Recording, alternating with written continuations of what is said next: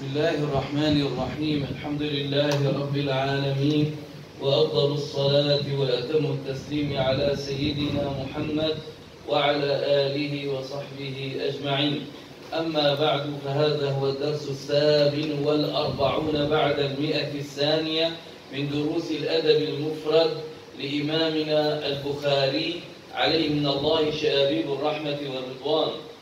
وبه إليه طبعا ما زلنا في باب الرفق باب الرفق وبه إليه قال حدثنا عمرو بن مرزوق قال أخبرنا شعبة عن قتادة قال سمعت عبد الله بن أبي عتبة يحدث عن أبي سعيد الخدري. طبعا سعيد الخدري مدفون في دمشق. شفتوا القلعة؟ القلعة العصرية حط القلعة على يمينك وانت ماشي بهذا الطريق. والنار على يسارك. هون في مكان مدفون فيه معروف يعني في له باب في شباك.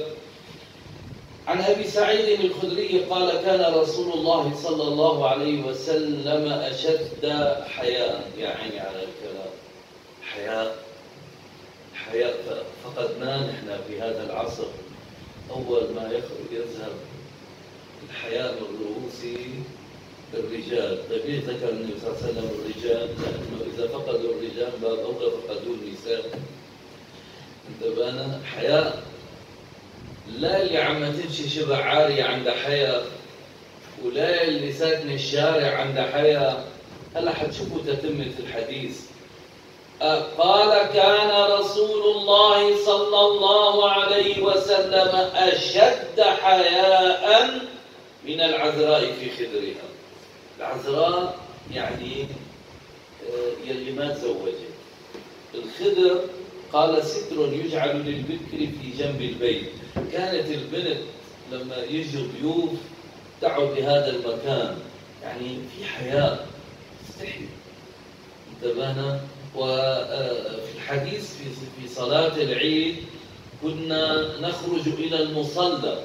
ما كانوا يروحوا على المسجد ما كانوا يصلوا صلاة العيد في المسجد إنما في المصلى.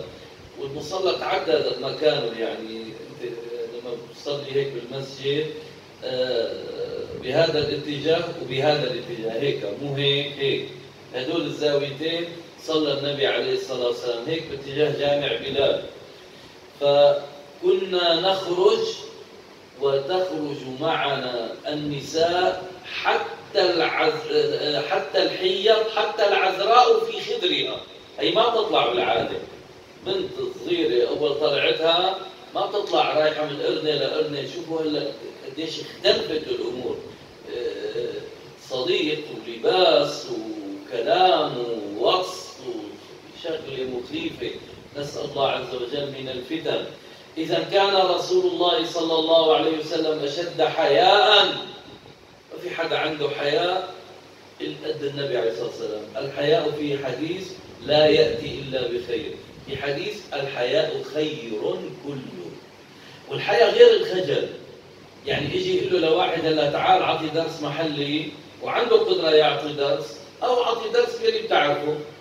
فيعرق ويصفر ويخضر وكذا هذا خجل مو حياء الخجل لا يليق بالرجال. ذلك اساتذتنا بأول طلعتنا كانوا يقدمونا نصلي إمام يقدمونا يدربونا على الخطابة. ما في حدا طلع والله بذكر احكي لكم اياها نكتة وحقيقة.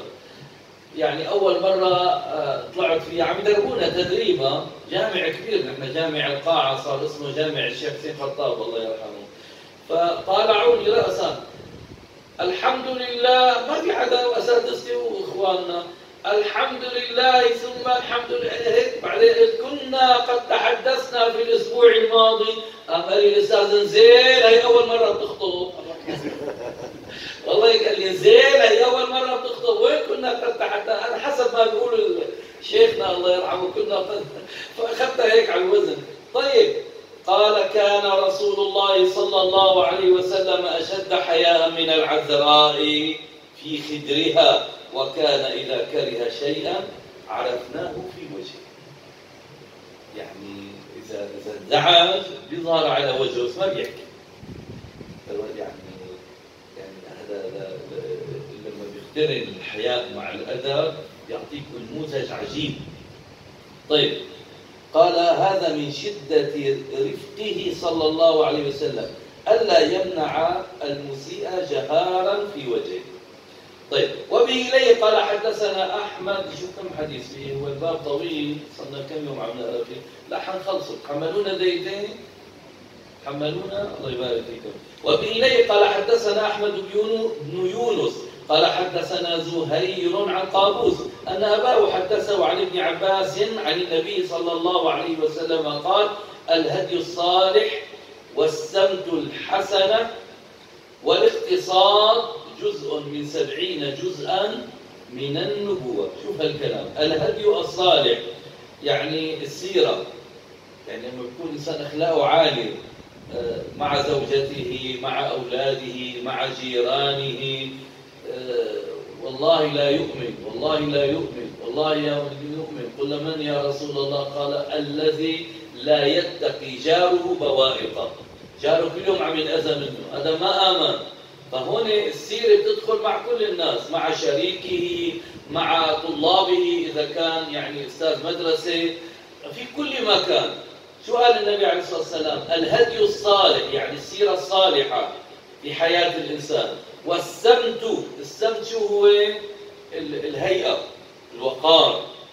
والسمت الهيئة الحسنة.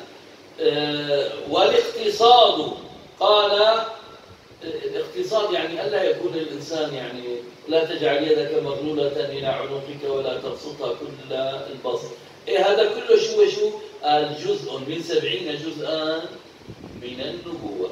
وبه إليه قال حدثنا حفص بن عمر. سيدنا أبو عمر يكنى بإيش؟ أبو شو؟ أبو حفص. قال أبو حفص عمر ببحث البدل باللغة العربية الأول فاعل والثاني بدل. طيب إذا قال عمر وأبو حفص الأول فاعل والثاني بدل. مثل اهدنا الصراط المستقيم صراطا بدل.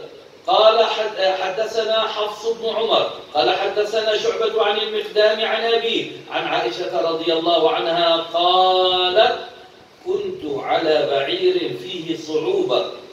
آه في صعوبة يعني يعني عم يعذبها عم عم يحرن انتبهنا؟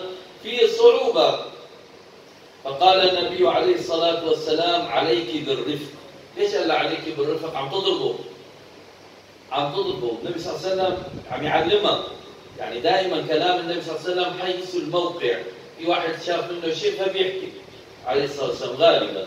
قال كنت على بعير فيه صعوبة. فقال النبي صلى الله عليه وسلم عليك بالرفق. ليش؟ لأنها كانت تضرب البعير. في رواية ثانية رقمها 475 آه، هي الرواية بتفسر أنه كانت تضربه ولا ينزع من شيء إلا شانه عفوا. عليك بالرفق فإنه لا يكون يعني الرفق في شيء إلا زان رفعه. نعم. ولا شيء ولا ينزع من شيء إلا شانه شو ما كان. والله لو بيكون مين ما كان. بس ينتزع منه الرفق يعني الرحمة خلص يعني نزل. يعني هذا عابق. بمعنى عابق. نحن في حديث نسيناه وبه إليه قال حدثنا الغداني. هي الأصل الغداني الصحيح. أحمد بن عبيد الله قال حدثنا كثير بن أبي كثير قال حدثنا ثابت. نحن قريناه بس ما شرحناه. عن أنس عن النبي صلى الله عليه وسلم قال لا يكون الخلق في نفس الرواية. لا يكون الخلق في شيء إلا شان. الخلق شو هو عكس الخلق. يعني سوء الخلق. لا يكون في شيء إلا شان. يعني هلا نفس الحيوان. إذا إذا إذا بسوء خلقه بيعذب صاحبه بينزل بينزل قيمته كمان. تبانا وإن الله رفيق يحب الرفق. هلا كلمة رفيق هي بعض آه، يعني العلماء قالوا ما تسمي الله رفيق. أنه يرافقنا في كل شيء وهو معكم أينما كنتم. الإمام النووي ذكر أنه يجوز أن تقول عن الله الرفيق لكن آه، ذكر خلاف علماء الأصول في هذه المسألة وبه وبه إليه قال حدث حملوني حدثنا عبد العزيز قال حدثنا الوليد بن مسلم عن أبي رافع عن سعيد المقبري عن أبي عن أبي هريرة قال قال رسول الله صلى الله عليه وسلم إياكم والشح الشح من سوء الخلق البخل يعني. فإنه أهلك من كان قبلكم سفكوا دماءهم وقطعوا أرحامهم. بده يروح بده يوصل رحم أخته بده يأخذ له غرضين ما يشوف حالتها بده يعطيها 200 ليرة. إيه بلا الروحة قطع رحمه.